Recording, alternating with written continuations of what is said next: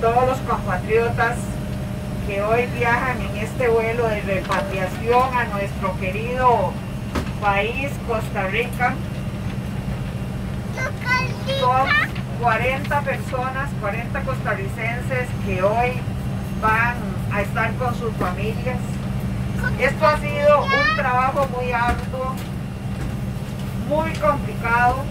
Gracias a Dios se está logrando con intervención de las, de las autoridades del gobierno de Costa Rica, las autoridades del gobierno ecuatoriano y el equipo de trabajo de la Embajada de Costa Rica ha sido posible.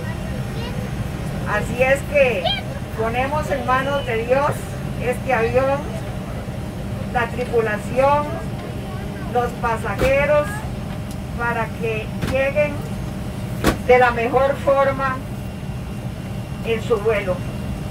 Dios los acompañe y que disfruten de este regreso a casa. Así fue como se expresó la embajadora de Costa Rica en Ecuador, Nuri Solís, quien es vecina de Pérez Celedón. Este miércoles 29 de abril, luego de múltiples esfuerzos, regresa al país un grupo de 40 costarricenses desde Quito, Ecuador, en un vuelo de la aerolínea regional y cuyo boleto fue costeado por los mismos viajeros. Dentro del grupo de 40 personas se encuentran niños, adultos mayores y una embarazada. De los 40 connacionales, 26 viajaron en bus desde Guayaquil por 8 horas para poder tomar este vuelo. Muchos de los pasajeros habían quedado varados en Ecuador debido a la suspensión de operaciones aéreas a raíz de la pandemia del COVID-19 y otros son residentes en ese país que tomaron la decisión de volver a Costa Rica.